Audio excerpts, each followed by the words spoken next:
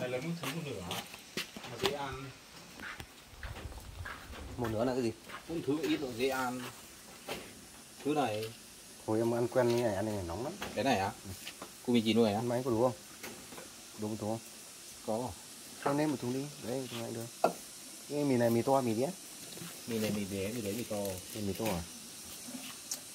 Lấy một ít to một ít bé. Em ăn ăn bé thì nó cay ăn to thì ờ đúng rồi cái bé này nó cay hơn. Cay và ăn cũng được